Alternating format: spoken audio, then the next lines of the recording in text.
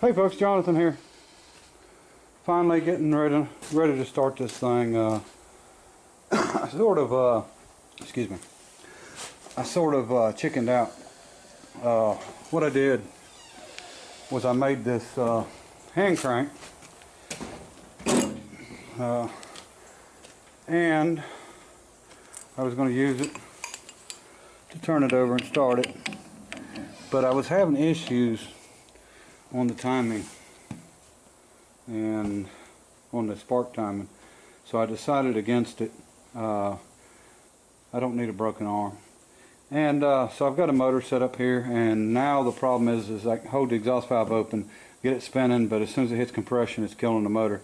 But I'm hoping it's going to go over enough to uh, to start it because all we got to do is get one rotation past the uh, impulse on the magneto and uh, but we're going to try it either way. Uh, for anybody that hasn't uh, kept up with the build, and I'm sure there's going to be a lot more people watching this and will you know watch the build. Uh, I'm going to explain to you what I got here. Uh, I started out with a B29 APU cylinder off of uh, well, it was a B29 Super Fortress, but it was the actual generator uh, that goes inside. It's a V2 generator. So I bought a cylinder, and that's all I bought was just, well, actually two cylinders, but I didn't have anything else for it. Uh, bought a Yamaha 250 crankshaft, a Yamaha 225 four-stroke piston. Now the, the crankshaft for a two-stroke. And uh, let me see, built the, the engine case and uh, out of, of course, drew it out on paper, uh, built it out of wood, and then cast it out of aluminum. Uh, there's a lot of parts and pieces from different stuff and the intake manifold's part of a uh, seat frame from under a, I think it was a van. The exhaust is actually the handle off an old pressure washer part of it. And rocker arms are half the original for the cylinder and half case tractor, uh, DC I believe. Magneto is just one I picked up uh, off eBay, redone. I've temporarily got a uh, condenser there. And let me see. Built this last uh, this is actually just a uh, lug wrench. And turned this out. The center is more a lug wrench. Put a grease fitting on it. Or actually a grease cup. And uh, let me see. Briggs and Stratton cams FH uh, case tractor piston, I mean uh, push rods and, and these are lifters.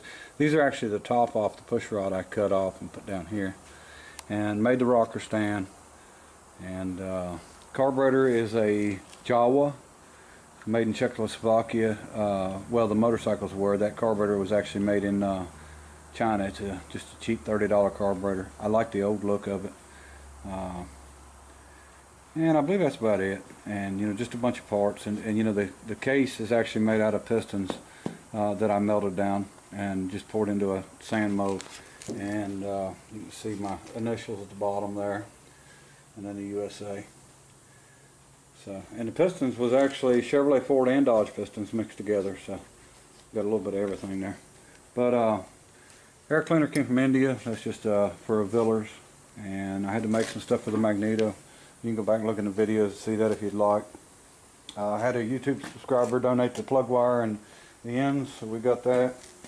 And uh, I'm just waiting on some gas. Uh, I don't have any gas at all, and my son went to pick some up. So uh, we're going to try it and see how it does. If it don't work out, this motor is no good.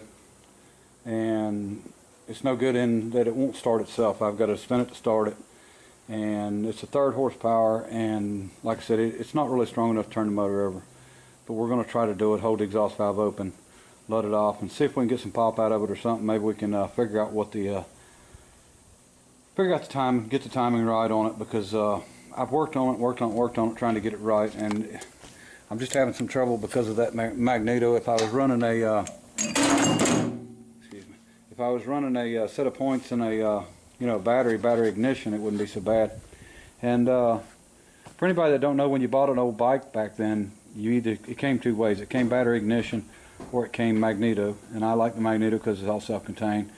back then you'd have to buy dry cell batteries, and uh, they claimed they'd last for a long time, you know, half a season or a full season.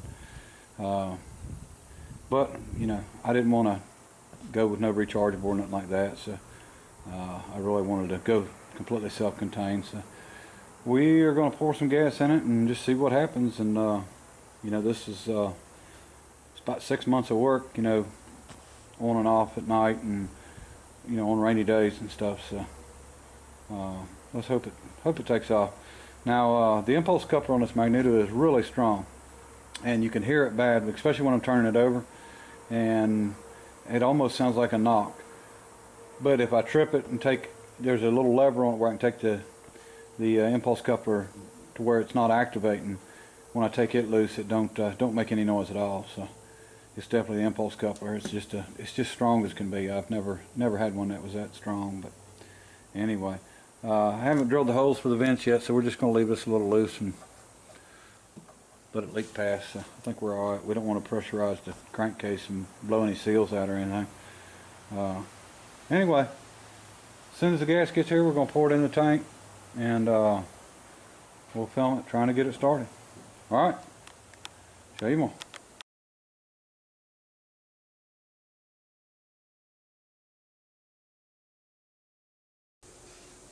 As long as it's good enough for you guys to see what that that's an engine and that's a motor and that's a human being in front of you. This actually is a this is a motor. This is not an engine. They call these explosion motors. Explosion motors. That's what it was called in the uh, early 1900s. It was an explosion motor. Hopefully it'll explode. All right, buddy, whenever you're ready. You get that clip back on. Yeah.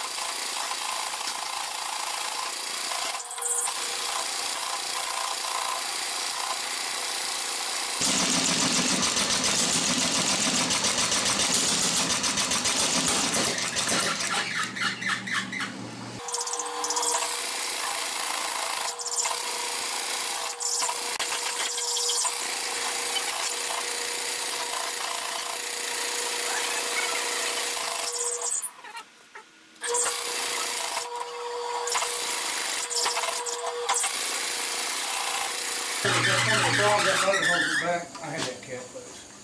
Yeah, I don't want to leave it tight because Yeah, I know. I ain't got no holes drilled in the damn thing. The, uh, one of the bad things about trying to use a motor stove.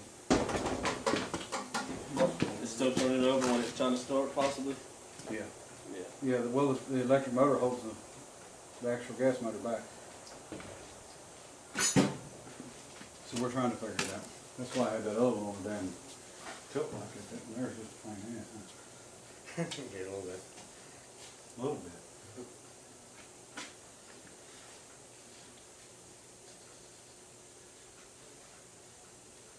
Let's see, I could, I could, uh, I could go clockwise one back. Counterclockwise. Two, maybe I should use it one. So I'm gonna go clockwise. One, let's see what it does.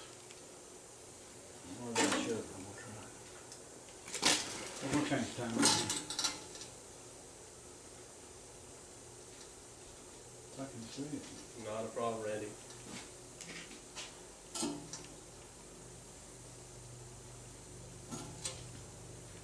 I'm hoping none of them's in a big hurry. He said he hopes none of you are in a big hurry.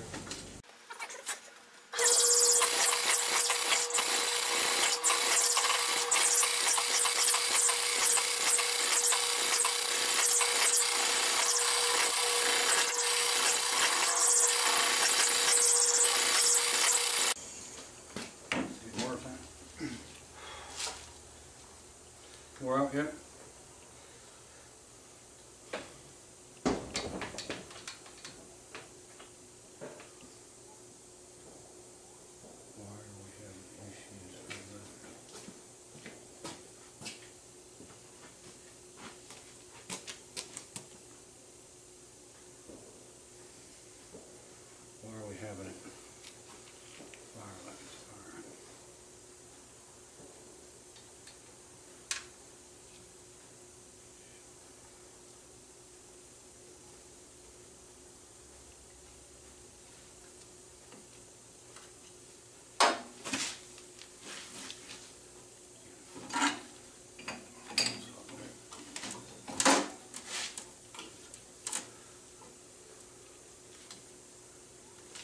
Way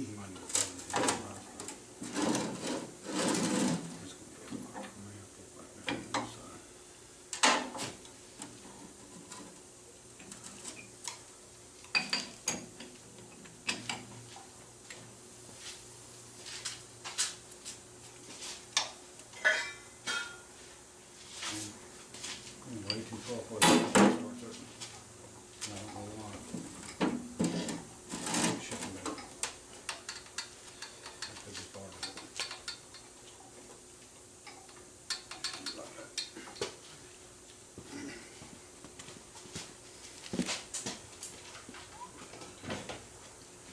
Intake valve too loose. Look, look on this one.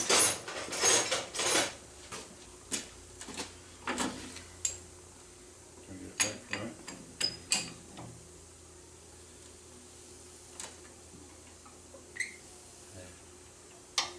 Out of these back where it's supposed to be. I think I got too much damn valve on it. Shouldn't be that bad. I'm gonna take it down every time the damn can. It'll be all right. Uh, Yeah, the backfire is all part of the timing not being right. We're just having a hard time with this one for some reason. It'll be a pain in the ass. You wanna do that? What? Make a hinge on that big motor. Yeah, let's, uh, let's do let's do it right, so that's, uh, tell everybody I'm sorry, apologize, let them know that we're, we're gonna regroup here.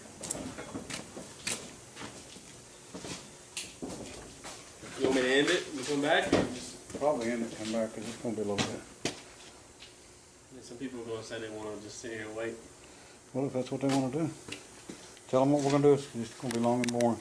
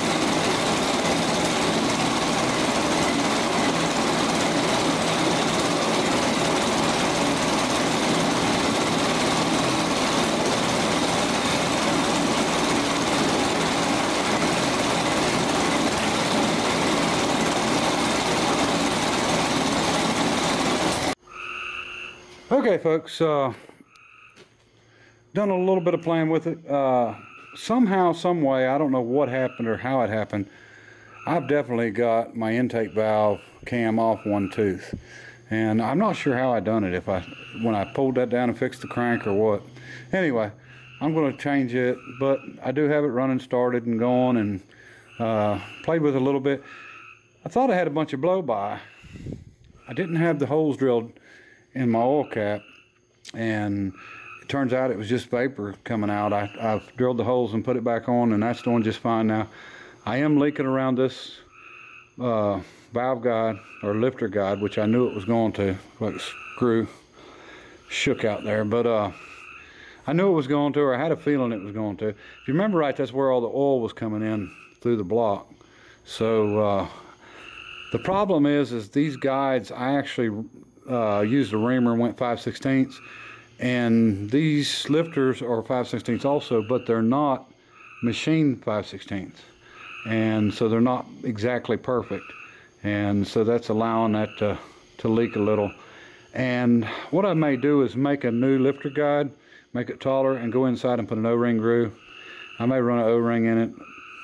I'll figure something out. I don't want to put any valve uh, seals here. I might can put them on the bottom, you know, something a little different, but I'm not too worried about that. We'll get that uh, in no hurry. Uh, I'm gonna go ahead and start it up one more time. It's cold as can be.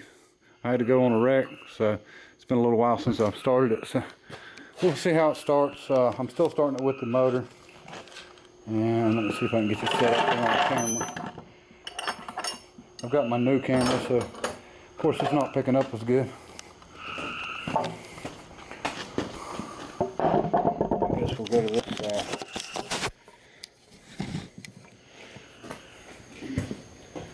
I haven't started it cold yet, so I'm not sure if I need to choke it or what I need to do, so.